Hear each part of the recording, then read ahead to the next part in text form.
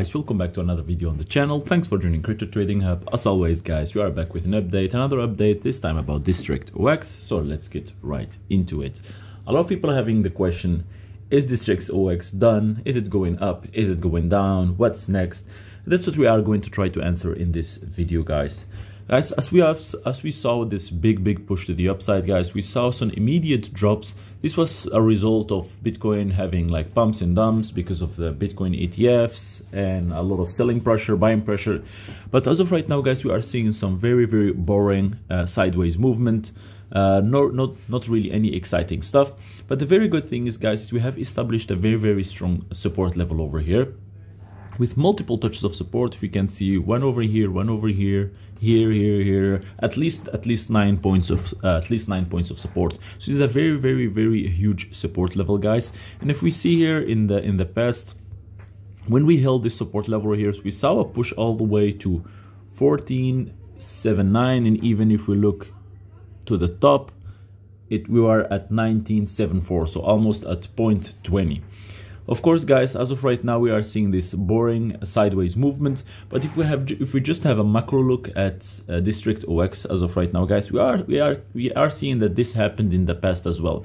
With this with this big push that happened over here, guys, if we are seeing, we saw a big push all the way to uh, 0.05, and then we saw a drop a push, a drop, a push, and then a very, very, very long and boring sideways movement. If we compare it to what's happening here, it was indeed a push, a drop, push, drop, and then a very, very boring sideways movement before we saw then a triple, so a 3x or even a 4x uh, to the upside.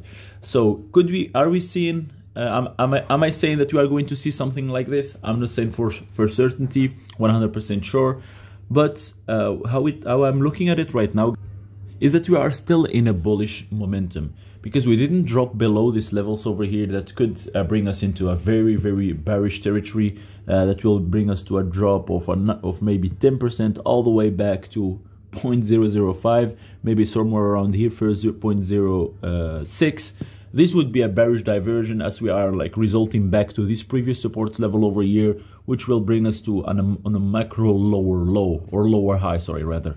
But if we look, if we took and look this on a macro level, guys, on a macro scale, we could even argue that there is an ascending wedge starting all the way over here, going this way over overextended a little bit. So we could argue that there is actually an ascending trend still. Even with all this sideways movement we could argue that there is an ascending trend still. If we look at this touch points over here so we have one here second over here almost a third over here. Now we are having a fourth over here. So guys as long as we are holding this support level over here and we are seeing uh, pushes back to the upside because every time we touch it we see some uh, some reaction back to the upside it's not as the reactions that we want of course we want to see us at least break above this resistance level over here for us to at least retest these major resistance level over here resistance levels over here that could uh, push us back up but the good thing is right now, guys, if we look at the resistance levels that are awaiting us above, those are not huge resistance levels. Those are not resistance levels with huge multiple touches of support. So if we are having some uh, uh, bullish news and some good bull power, we could see an immediate push all the way back around this level of 12 or even 13. That's a very, very, very possible uh, scenario, guys. But as of right now, guys, keep, keep a very, very close look at this support level over here, guys. As long as we are holding this support level, we are still pretty okay. Even if we still continue a little sideways, sooner or later we will see a retest of this level over here because now we are only retesting this uh, support level over here and it's it's serving as a very very good uh, support level uh, so this is a very good news as there is no liquidations around this level over here. So we could argue that it's more likely than not that, that we will see a push upside to this to this uh, resistance level over here uh, for us to continue back up. If we check our boundary bands right now, guys, will, it will be a small gate of boundary bands. Uh, where are the boundary bands over here? Okay, we'll add boundary bands. there you go so as you guys can see we are just moving sideways exactly at the average of the boundary bands constantly at the average. This is a healthy thing, as I always say, because if we overextend outside of the boundary bands, we always see a drop back down to the average over here. But we need to see some movement to the upside so our boundary bands can open up. boundary band uh, gate or whatever you want to call it to open up for us to see a continuation back up.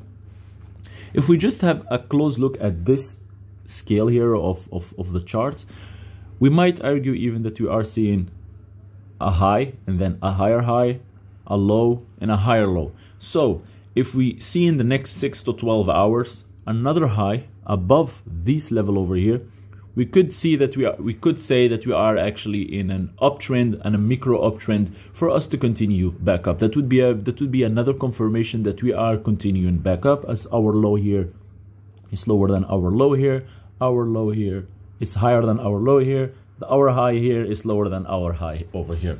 So we are looking pretty okay at this point, guys. There is no uh, there is no uh, need to to panic right now, guys. Everything is still looking pretty okay as long as we hold above this support level over here, guys. I will keep you up to date, guys, on any uh, any news regarding District0x or other coins. I will try to update you by the minute if there is any uh, important news. So don't forget to like and subscribe and turn on notifications as I will also post in the community post any any small updates that don't require a video. So as always guys, thanks for, uh, for the support and peace out.